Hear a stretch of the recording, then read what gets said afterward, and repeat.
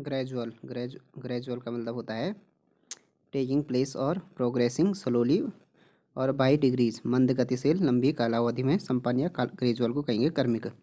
We noticed gradual change in temperature हमने क्या?